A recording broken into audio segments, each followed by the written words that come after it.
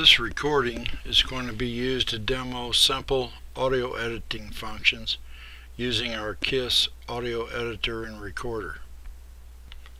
The first thing I'm going to do is delete the annoying applause from the start and the end of this file. Next, I will copy the first section of the file, then paste it to the end of the file. Next, I'll show you how to add what is called bumper music to the start and end of the recording. This is used to enhance a uh, vocal recording. Finally, I'll show you how to save this WAV file to an MP3 formatted file.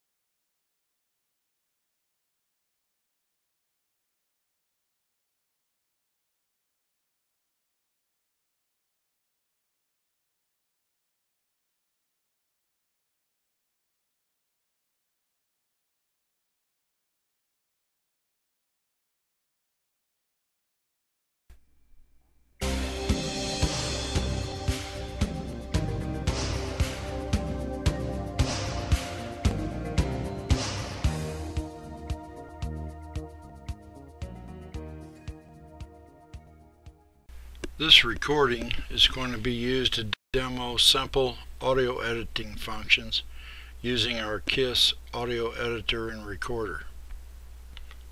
The first thing I'm going to do is delete the annoying applause from the start and the end of this file. Next, I will copy the first section of the file, then paste it to the end of the file. Next, I'll show you how to add what is called bumper music to the start and end of the recording. This is used to enhance a uh, vocal recording. Finally, I'll show you how to save this WAV file to an MP3 formatted file.